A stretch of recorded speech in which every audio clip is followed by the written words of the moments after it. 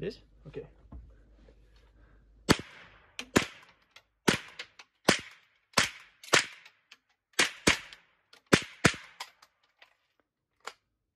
Very nice. Håper jeg traff. Der er etterskuddene. Sikten er stilt inn på 30 meter. Det her er kanskje syv. Så ikke under, men det går fint. En greie der. Neste, neste. OK, OK. En der, to der. Det er greit, det er greit. Den falt ned, men det var ganske midt i denne her, hvis dere ser det. Og så traff jeg andre i nærheten i hvert fall. Og så siste, begge to ganske close langs linjen der. Very nice!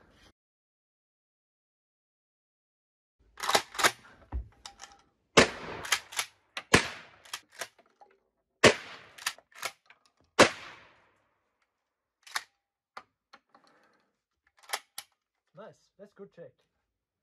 Nå kan du se liksom hvor mye større forskjell det er fra fullt sjokk til ingen sjokk. Traff, eh, traff midten og alt annet eh, på den der. Veldig fint.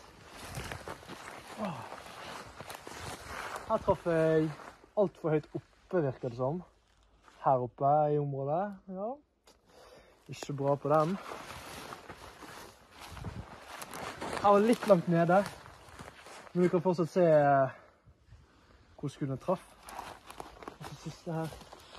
Oi, litt langt ned igjen på, på denne her. Så yeah, very nice. God damn.